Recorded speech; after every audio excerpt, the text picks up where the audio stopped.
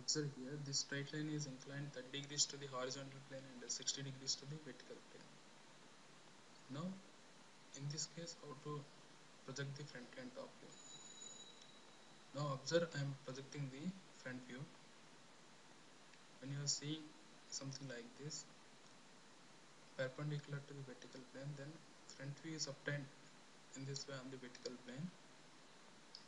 Then you can see from the top to get the top view. When you are seeing the top view it is something like this. This is the top view. Now I'll project the side view onto the profile plane. Here I am introducing a new plane called profile plane and I'll project the side view. This is the side view. Now in this side view you can obtain the true length. You can't get the true length either in the front view or in the top view. But in this case when theta plus phi equal to 90 you can get the true length of the side view. And you can observe one important observation here. After rotating the horizontal plane something like this that means after opening the first quadrant completely you will get the front view and top view on the same projector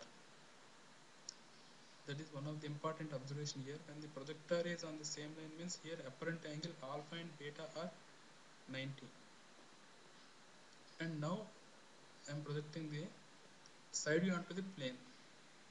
By rotating this or by opening this profile plane. Something like this. Now this is the front view this is the side view this, this is the top end this is the side view and this is the actual position of the line you can see how we are placing this on a paper.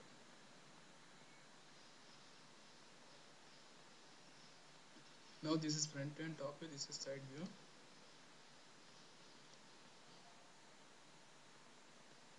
Now observe how to draw the front end top view from the side view. First draw a 30 degree line something like this. Here you take one line x1 y1 this x1 y1 is representing this profile plane then to get the front view you draw the projector like this. Two projectors from this point and this point you will get the front view. But to get the top view you draw an arc like this. From this arc you draw the locus line. And from here that will give the locus of this particular point. And this particular point when you are seeing from the top that will be somewhere here. No need to rotate. Because this is the this point lies on the intersection of uh, x1 y1 and xy that's why you will get that point here. Then you will get the top view in this way